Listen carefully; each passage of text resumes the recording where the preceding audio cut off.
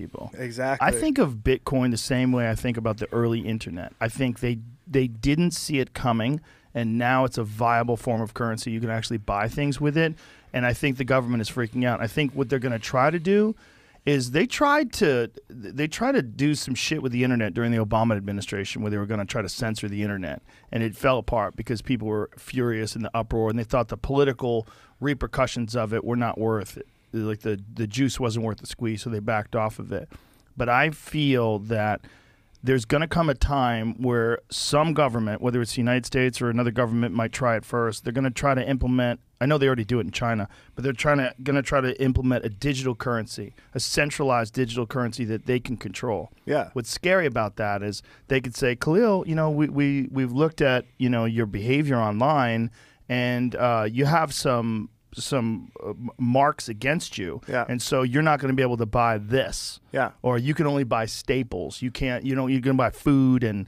and shelter, but we're not going to allow you to travel. Yeah. because like that could It's be a scary. real thing where they No, could it- literally limit what you spend your money on. One